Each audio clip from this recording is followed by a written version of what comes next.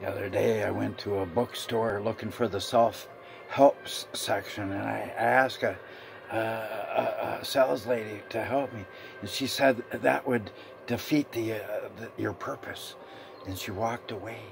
See, people, they don't get it. You know, uh, it's like everybody's lost in a, their own little world. And so we've got to turn things around. We need to start getting passionate about one another that we can see. If we can't, we could never love a Lord God that we cannot. So it's time to stand up and be counted.